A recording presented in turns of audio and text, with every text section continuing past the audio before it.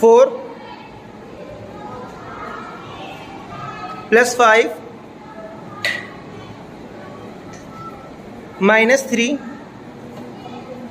minus five plus four